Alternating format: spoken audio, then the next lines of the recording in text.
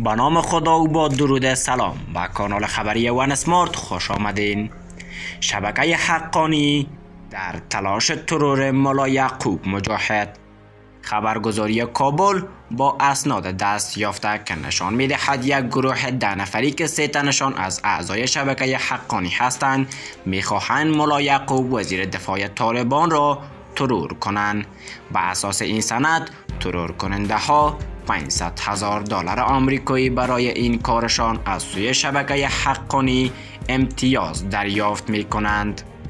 در همین حال مسعود طالبان مرتکب جنایات جنگی شدن محکمه بین المللی رسیدگی کند احمد مسعود رهبر جبهه مقاومت ملی ضد طالبان در یک پیام ویدیویی به مناسبت سال نو خورشیدی که در صفحه فیسبوکش نشر شده است می‌گوید او از محکمه بین المللی جرایم خواست تا برای پاسخگوی طالبان در خصوص بازداشت های غیر قانونی، شکنجه و کشتار که نمونه های آشکار جرایم علیه بشریت و جرایم جنگی است و طالبان آن را مرتکب شدن رسیدگی کند.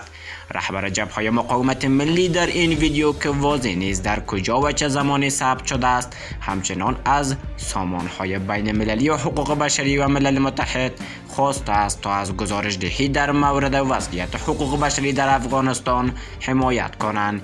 این در حالی است که پیش از این ملل متحد دیدبان حقوق بشر و سازمان افع بین ملل بارها از نقض حقوق بشر توسط طالبان گزارش دادند. سازمان ملل متحد سازمان افع بین ملل و دیدبان حقوق بشر طالبان را به اعدام های سرایی بیش از 100 تن از منصوبین نیروهای امنیتی و دفاعی و امنیت ملی پیشین افغانستان متهم کرده و گفتند که در این خصوص اتهامات معتبری وجود ندارد.